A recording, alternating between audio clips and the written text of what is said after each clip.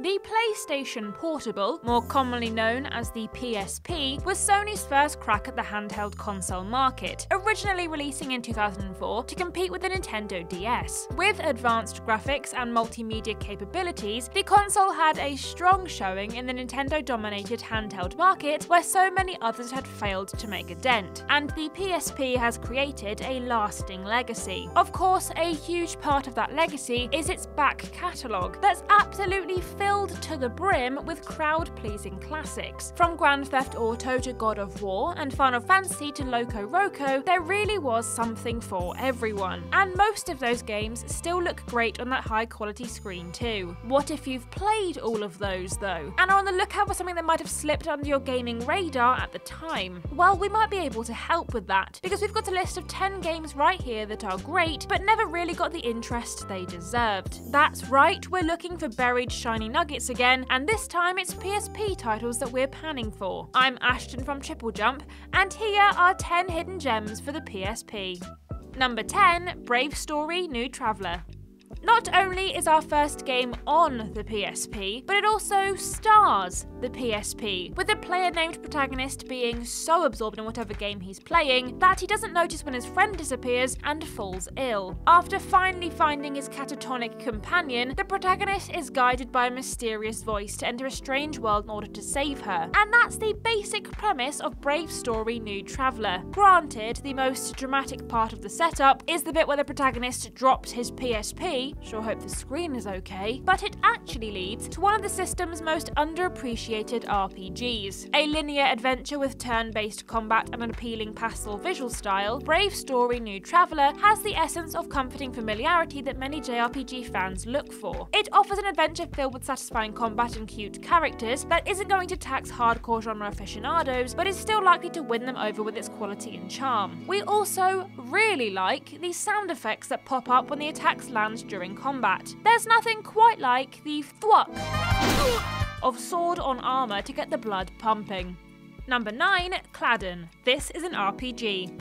From an RPG that sticks to the basics to an RPG that tries something a bit different now, with Cladun, this is an RPG. Not only does this game win awards for the most unnecessary subtitle ever, but it also offers up a retro styled top down customizable RPG world to explore. A throwback to 8 bit dungeon crawlers, the name Cladun is short for Classic Dungeon. Cladun, this is an RPG, puts players in control of one of a number of characters who find themselves in a world created by a powerful sorceress. The combat is in real time. Each character has multiple weapons and customizable abilities, and there are randomly generated dungeons to keep going back to if you're the type who likes to grind relentlessly and max out your team. Set in a wacky and colourful world filled with entertainingly written characters, Cladun, this is an RPG, also has huge potential for customization, allowing players to create characters, including building the character sprites from scratch, which has potential for hours of creative gameplay. It even lets you choose who the game's antagonist and final final boss will be. I'd like mine to be completely incapable of fighting back. Thanks. Number 8 Bounty Hounds. The Namco published Bounty Hounds didn't fare too well in the review stakes, raking in average scores and garnering comments about repetitive combat. Ask the few who took the plunge and purchased the game, however, and you'll find that most of them hold this futuristic hack and slash in high regard, touting the title as something of an underappreciated gem. First impressions are good, as Bounty Hounds is one of the best looking games on the PSP and absolutely dazzles on the compact screen. It also has something of a thought provoking premise, as players take on the role of Maximilian, the leader of a group known as the Bounty Hounds, who go off to newly discovered planets and eliminate the indigenous life forms. Sounds like a job that might take you to some dark places, literally and metaphorically. Then there's the gameplay, which most reviewers described as repetitive hack and slash, but gamers lauded as a great way to blow off steam, especially considering Maximilian's loadout is customizable from over 500 weapons and items. So definitely consider overlooking those review scores and giving this one a try. Oh, and it's also apparently set in the same universe as Galaxian, Ace Combat, and Ridge Racer. We haven't got time to explain that now though, so go and look it up, okay? Number 7 Crush.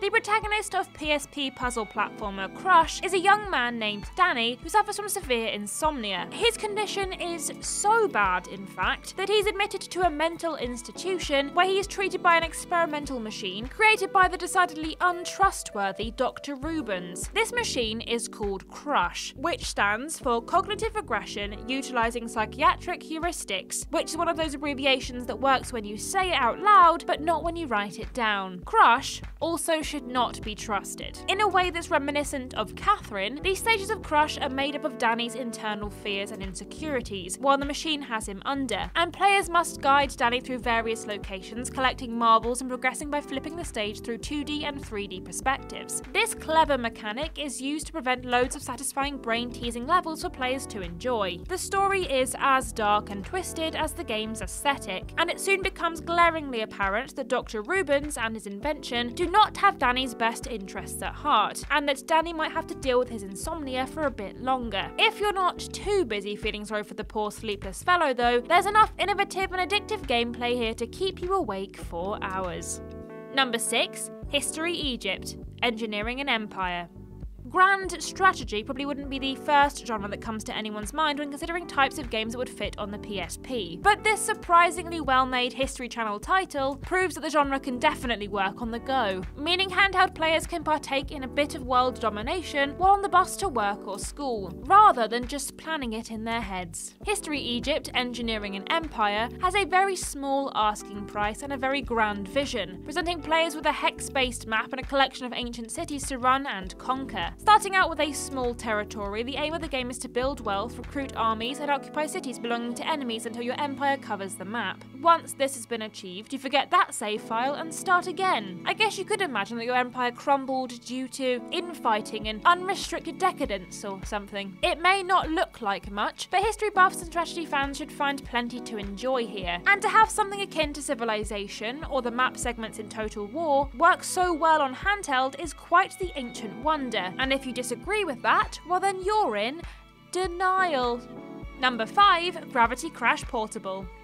A fun and challenging multi-directional shooter with a cool retro style, Gravity Crash Portable was also released for the PS3, where it, understandably, was known simply as Gravity Crash. The PS3 version was great and all, but it's the LCD screen again that really makes the visuals of the PSP version pop. The aim of the game is to navigate through stylized neon environments, avoiding hazards and locating and destroying targets, all while the timer ticks down. Things can get pretty tough, so an icy cool demeanour and quick reactions are recommended recommended, but the game's pick up and play nature means that it's ideal to take with you on journeys, despite its difficulty level. Looking like, and indeed taking inspiration from, arcade shooters of yore, those of a certain age might find that Gravity Crash Portable takes them back to those smoky 80s and early 90s arcades, playing the likes of Robotron or Defender, only this arcade machine fits in your pocket. We should also note that a PS Vita port, known as Gravity Crash Ultra, was also released, and this this makes use of the Vita's additional analog stick for an even slicker experience. So maybe get that one if you've got access to Sony's less popular but equally great handheld successor.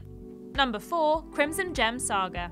While Crimson Gem Saga might sound like it belongs over on the PSP's competitor, the DS, keeping mums and grandmas occupied with addictive Match 3 gameplay, it actually sits nicely in the PSP's back catalogue, along with all the other high quality RPGs of Far Eastern origin, and doesn't involve gem matching at all. Also released on iOS, Crimson Gem Saga is similar to the aforementioned Brave Story New Traveller, in that it doesn't particularly push the RPG envelope, but what it does do, it does really, really well. Presented in a lush, hand-drawn 2D visual style that pops delightfully on the PSP screen, the game tells a story of the powerfully named Killian von Rokoff, a graduate of the Green Hill Chevalier Academy, which has nothing to do with Sonic the Hedgehog. This young hero finds himself swept up in the search for powerful artifacts known as the Wicked Stones. What ensues is a good old-fashioned globe-trotting RPG filled with adventure, turn-based battles, and a selection of interesting potential party members to meet. The game is also well written, with some decent voice acting and an agreeable character driven storyline that involves some unexpected twists later on as the Wicked Stones are brought together. Hmm, I guess it kind of is like a gem matching game after all.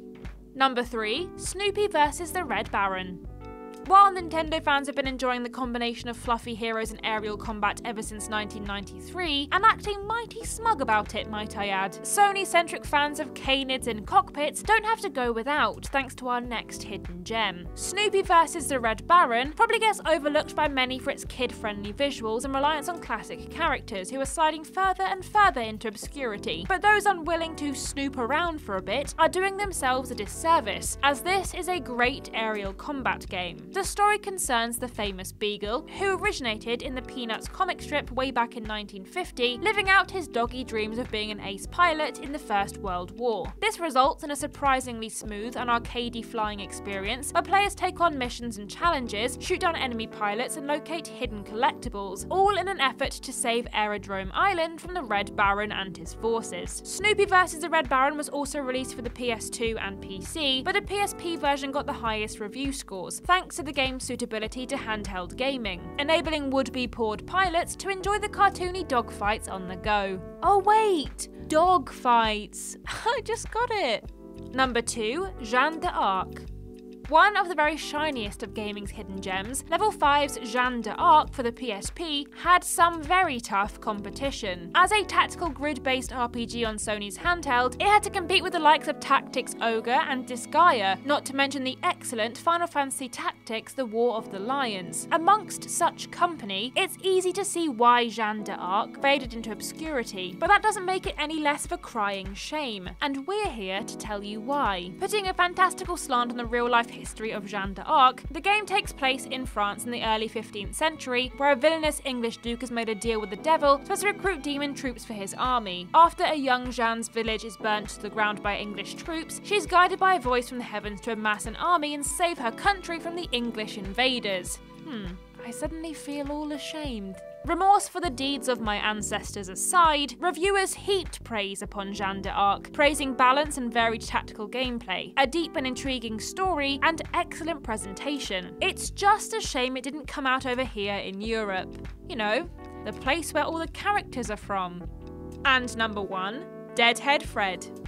What's to possibly put at number one on our list, when number two is a beloved and dignified tactical RPG and an inspiring and fanciful tale based on a real life historical figure? Well, a game where you run around as a guy with a brain in a jar for a head, of course. This horror themed action adventure was developed by Vicious Cycle Software and puts players in the gumshoes of a private detective who's recently been murdered and decapitated. So far, so grim. But Dead Head Fred isn't all about reanimated corpses and dismemberment.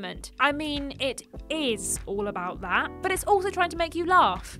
So, the comedic tale focuses on Fred Neuman, the reanimated detective who was murdered while on the trail of crime boss Ulysses Pitt. Brought back to life by one of Ulysses' employees, Dr. Steiner, only Fred's brain and eyes were saved. Bad news for Fred's chances of getting a date, but good news for players, as this predicament enables the game's head swapping mechanic, where Fred is granted new abilities upon equipping different heads. With fun and varied gameplay, a delightfully grim premise, and clever reference filled writing throughout, it's an absolute treat for those those of a darkly humorous disposition. So if you're looking for a fun and unique action adventure to play on your PSP, then Dead Head Fred is a total no-brainer.